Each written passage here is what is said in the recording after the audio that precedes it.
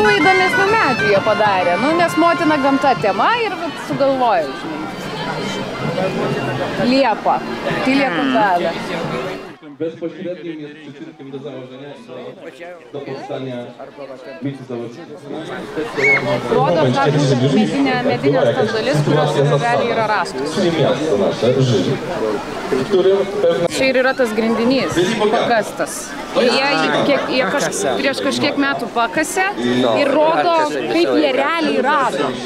Nes jie realiai rado, kaip, nu, tą va, tokį grindinį. Kultūriniai sluoksniai pavaizduoja. Kas išlieka? Čia reiškia tai nieko tuščias įžemės, čia yra akmens amžius, čia jau yra epocha bronzų, čia kas iš bronzos, čia geležies amžiaus, kokie radiniai išlieka. E, dabartiniai laikai, kiek iš mūsų visokių plastiko visko lieka ir viršui. Tai čia visas epochos nuo nejudinto poledyninio šito sanašinio grunto. Gyvenvietė buvo pastatyta per e, kelis metus, iškirtus didžiulį kiekį e, medžių ir joje vienu metu gyveno apie tūkstantį žmonių. 11 gatvių buvo eilės tokios gatvių ir ilgiai namai. Visi vienodi daugmaž, tai reiškia nebuvo kažkokio vado namo ir ten eilinių. Visi daugmaž vienodi, su įvairiausiais amatais, keli sluoksniai tų namų buvo. Paskui klimatas keitėsi, pakylo gruntinis vanduo ir jie buvo priversti pasitraukti iš tos vietovės. Ir tada jau čia e, tą vietovę vėl įsisavino tik tai e, ankstyvieji slavai apie 9-10 amžių čia atsirado nedidelis toks kaip ir gyvenvietė ten, kur mes ėjom pradžioj. O čia šita teritorija buvo jau apleista. Aplinkui yra lobių, mes pamatysim didžiulė yra paroda dabar, jie gavo tris lobius labai gražius iš to laikotarpio, iš apylinkių. Yra labai daug su žemdirbystė susijusių dalykų, yra kapai šitos kultūros, to visko čia. Yra regionas e, toks e, jau įsisavintas žmonių ir visą laiką buvo naudojamas. Konstrukcijos išliko puikiausiai, kasinėjimo metu žydiniai, ten grindis, ten sienų konstrukcijos, kai kur balkiai nukryti nuo stogų, todėl yra daug maž, na, tos rekonstrukcijos daug maž e, e, lyginant su kitais panašiais objektais labai tikslios. Ir aišku, didžiulė patirtis, nes jau ne pirmi metai, kai tas muziejus egzistuoja ir kai jie tą visą rekonstruoja.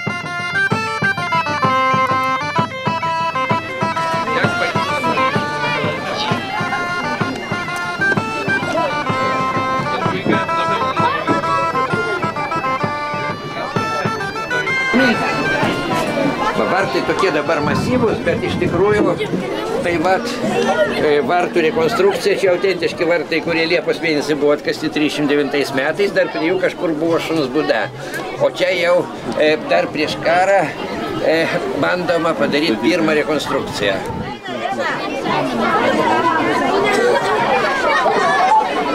Kovos tai čia, šitam garde vyksta.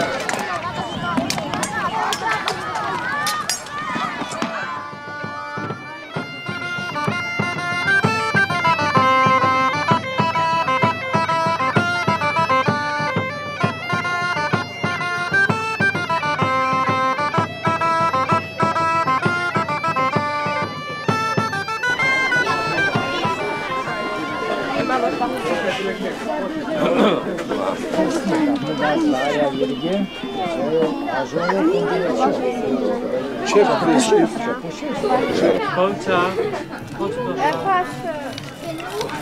Idziemy tam. Pani Magda chyba tam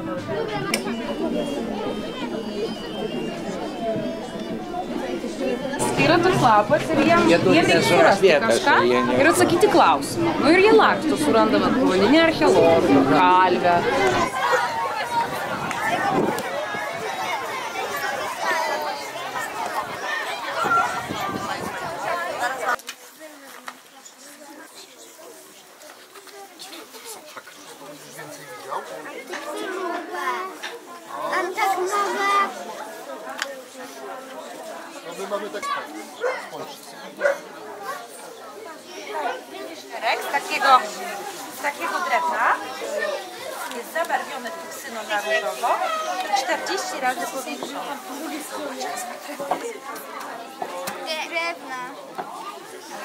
Jedna ma y, prawie kilo.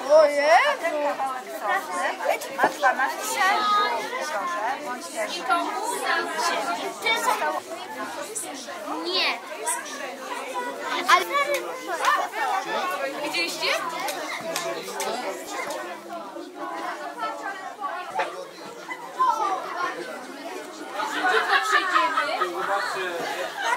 Chodźcie tutaj, Antoś. Ani jednego. Ktoś wam chyba bardzo dobrze pokazuje. Ani jednego nie znamy.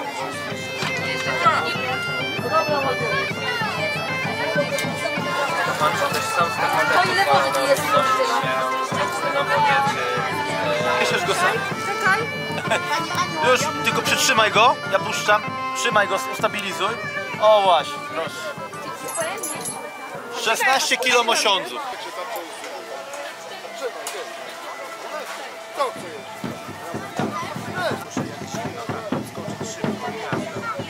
Zostaw to!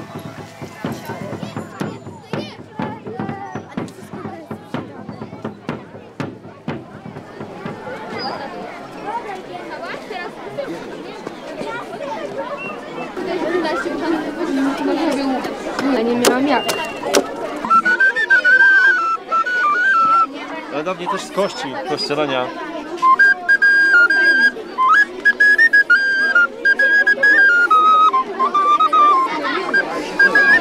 ścielenia. kurie. Nes jeigu trobelių visiškai kažkiek blizga. panaudoja ir vėl paskui pastatė. Tada tie daiktai sensta natūraliai. Dobrze. też, ty też, no ty też.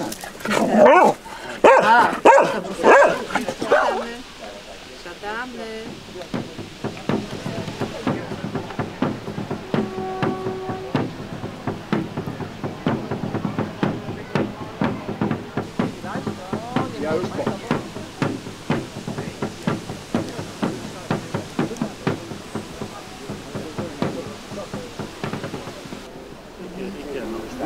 sugalvoti vietą, kur padėti tą akmenį ir padaryti normaliai. Dubeniuota? Va, čia irgi klausimas, nes tuos dubeniuotus, žinai, niekas nežino, kokia jų prasmė. Ir pagrindė randami. which are in accordance with its wi- with its aim. So, Oh, that is lovely. yes, and um, well, we have uh,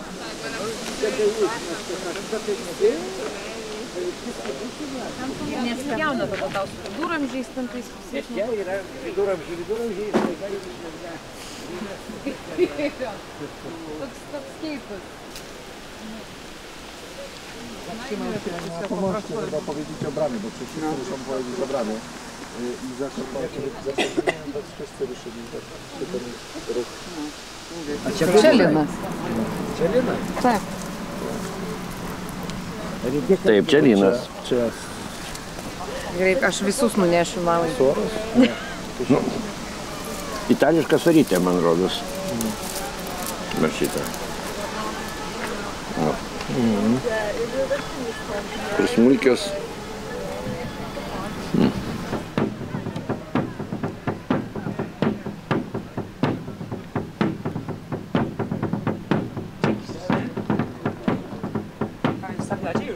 Dėl apinių aš labai abejočiau, ar jie juos iš vis tuo metu naudojo. Jeigu čia yra neolitas ar mesolitas, nes jie jiems visiškai nereikalingi buvo. Nu, bet gražiai atrodo. Bet gražiai atrodo. Bet e, apinis ir vėlyvas audarių produktas. Laukinė tokia nieko.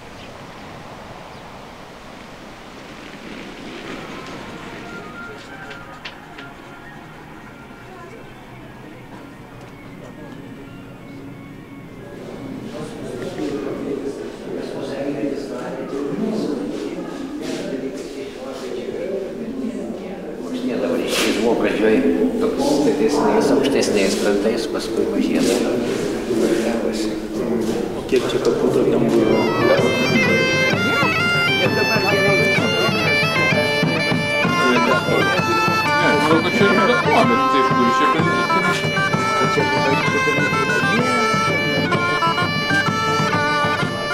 Nes čia matote, čia Józefą Koščevskį, kuris kūrė jau iš karto po nepriklausomybės Lenkijos archeologija ir kuris e, iš esmės ir tapo pirmų tokių garsiausių biskupino ir gatvė e, aplink visą, palei visą perimetrą, va, gatvė šoninės ir užstatymas labai charakteringas. Ir va, kaip įspūdingai sėdi darbininkai, kaip skrūstis preparuoja kultūrinį sluoksnį. Buvo siaurukas, vienu žodžiu, objektas buvo labai reikšmingas. Ir čia mes kaip tik matom kariuomenės delegaciją ir prieki maršalą, reiškia maršalas Edvardas Ryts Smyglas. Čia, čia visi lankosi, lankosi, lankosi tose kasinėjime ir daugybė ekskursijų ir pradėjo kurti įvairiausios e, grožinės literatūros kūrinius apie tą biskupiną. Filmus pradėjo pirmosius kurti. Tai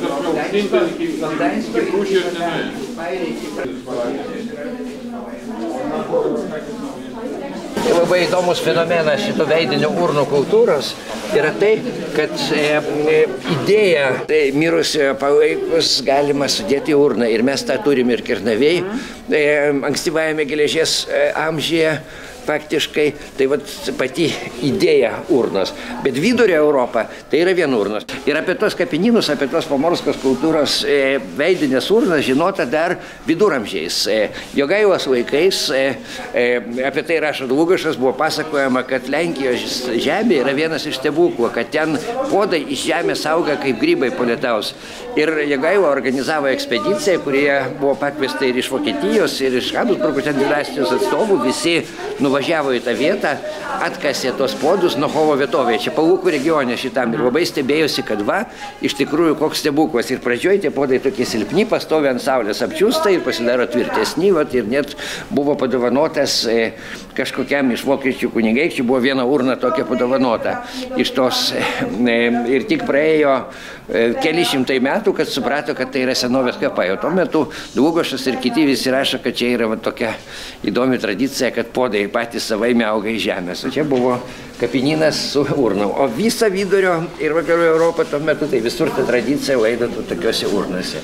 Nu ir kaip matot, jų paviršius labai įdomus. Čia yra įvairios technikos. Būna, kad apatinė dalis tokia daugiau kaip grubleta padaryta, o viršutinė aplyginta. Bet e, charakteringas brožas tai, kad visi jie turi tokį kepuraitę ir daugiausiai vaizduoja žmogų.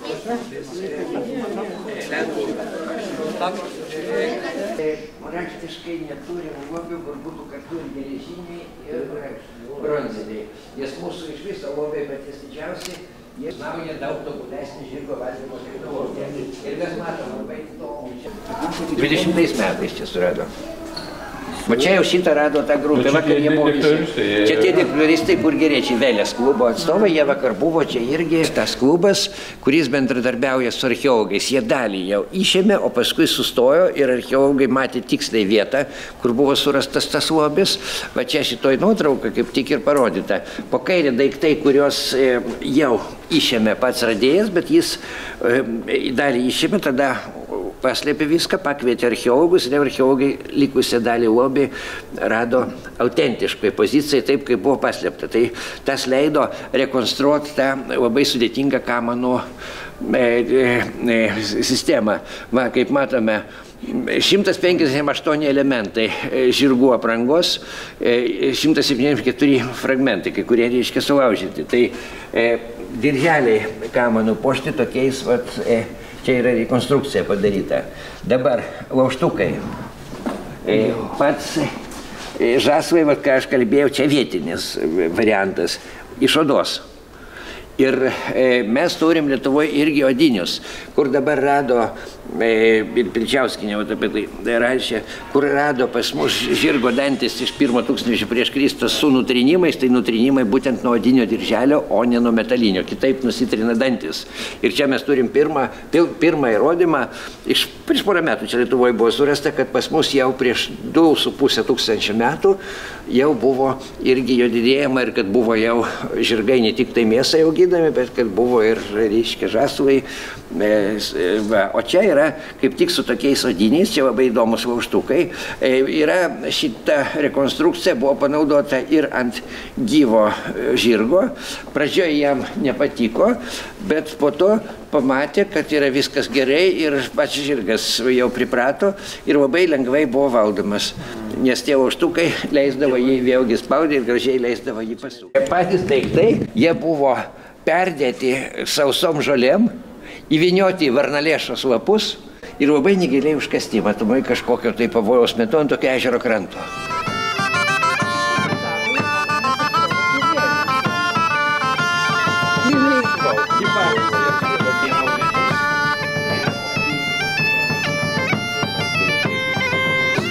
Girnos tai milžiniškas